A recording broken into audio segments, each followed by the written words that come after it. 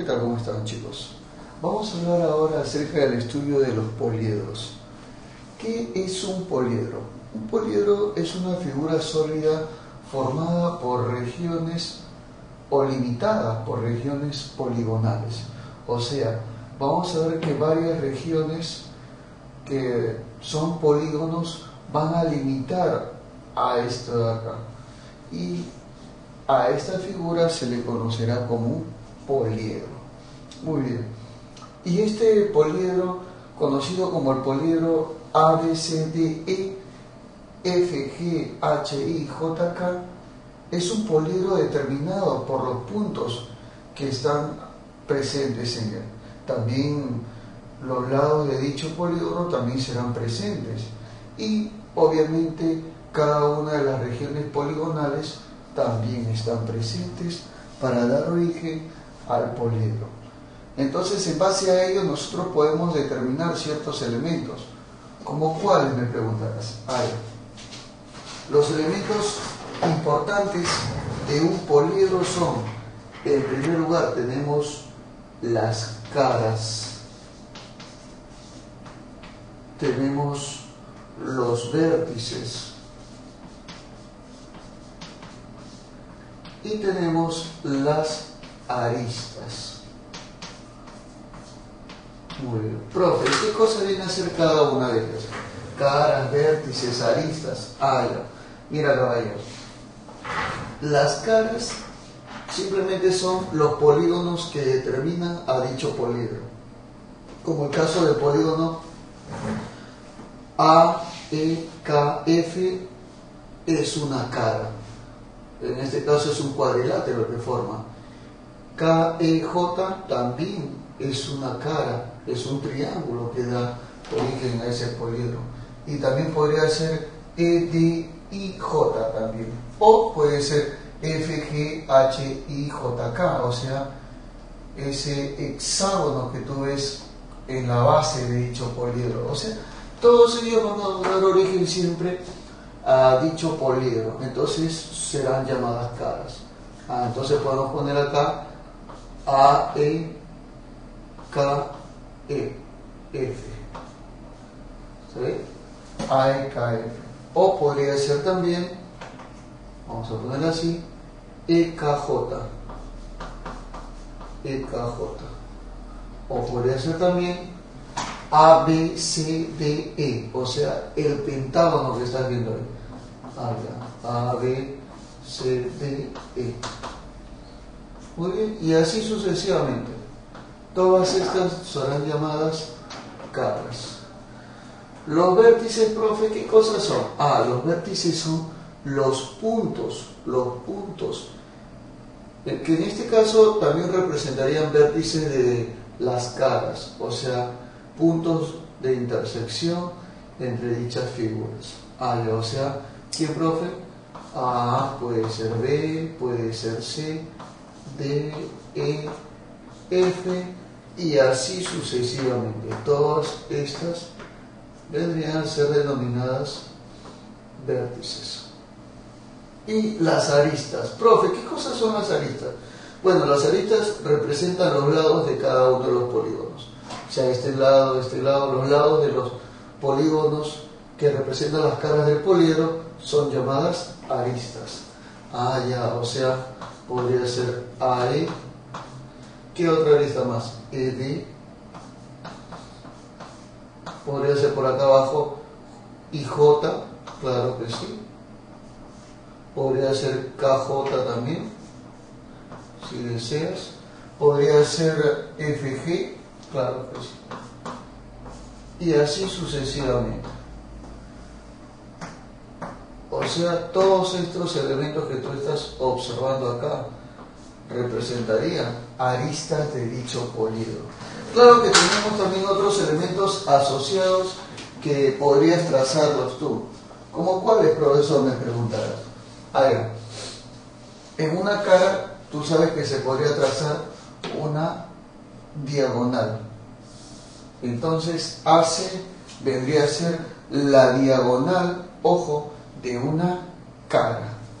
Ah, ya, profe. Entonces esto de acá es diagonal de una cara.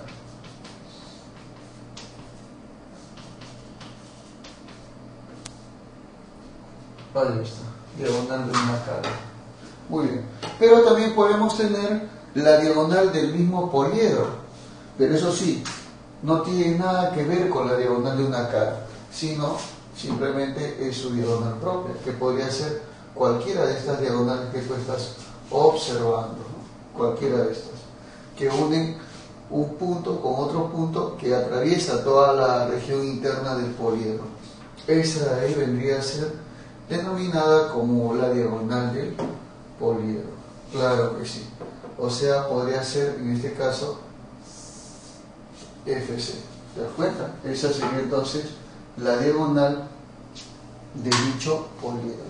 Bueno, como estas diagonales están trazadas en la región interior, vamos a ponerle mejor punteadito para que no haya ningún problema en el concepto, ¿ya? Por si acaso. Generalmente se pone así, punteadito. ¿Por qué, profesor? ¿Por qué punteadito? Para que sepas que está en la región interior. Pues, ¿no? no te confundas, porque no vayas a pensar que esto de acá está en una región exterior. Por eso es necesario ponerle punteadito así, tal como lo estás observando. Ahí está, ahora sí, creo que ya lo tenemos más bonito. Entonces diremos, profesor, ¿qué cosa viene a hacer esto? Bueno, es la diagonal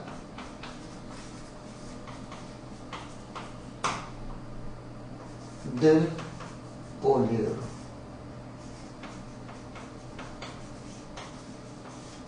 Así es. Esta sería la diagonal del poliedro. Muy bien, perfecto. Y ahora sí.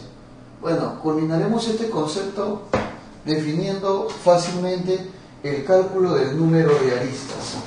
Porque por ahí me preguntaron, profesor, ¿y cómo se calcula el número, vamos a ponerlo así, número de aristas. Área fácil y sencillamente será esto de acá. El número de aristas se va a obtener sumando, ojo, sumando dos, sumando una cierta cantidad, vamos a poner así, símbolo de sumatorio, y vamos a sumar los productos, ¿sabes de qué? Del número de caras o sea, acá ven número de caras, pero ojo, en forma parcial. Número de caras, vamos a poner mejor con letritas porque con símbolo a veces se confunden mis alumnos, ¿ya? Vamos a poner así, número de caras.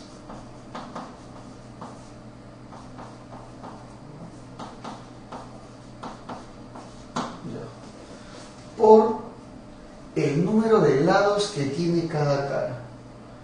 Ah, ya, profe. O sea que esto se va a multiplicar por el número de lados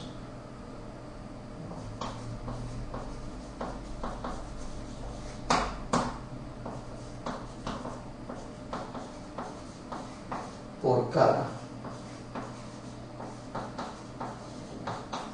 Ya, y todo eso dividido entre dos. Claro que sí. A ver, a ver.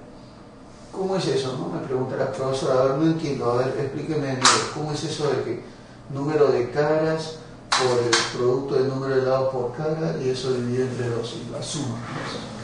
Mira, lo que pasa es que cuando nosotros hablamos de un poliedro, y si yo te cuento los lados, yo te cuento todos los lados, te estaré contando simplemente el número de aristas. Pero ¿qué es lo que pasa?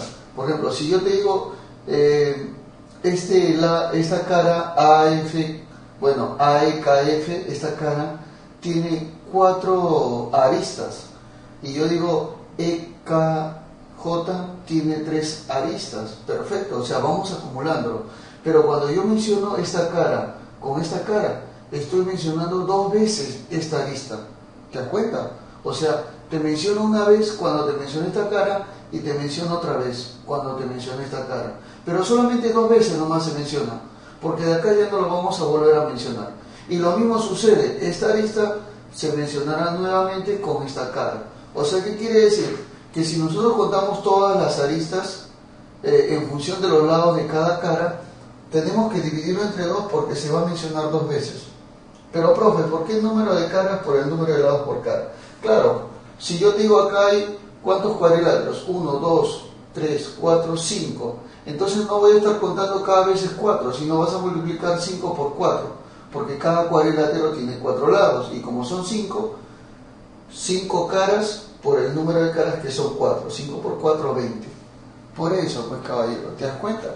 O sea, nosotros vamos a contar siempre las caras y el número de lados por cara y eso se va a multiplicar. Para que no esté sumando cada uno, porque realmente lo que se tendría que hacer es sumar los lados por cara en cada uno de los casos. Pero como te vuelvo a recalcar, para resumir esa parte simplemente lo vas a multiplicar. Y si es algo diferente a un cuadrilátero, puede ser triángulo, hexágono, pentágono, qué sé yo, entonces por eso es la suma, porque vas a contar cada uno de ellos. ¿Estamos de acuerdo con ello? Claro que sí. Y así es entonces como se van a resolver los problemas.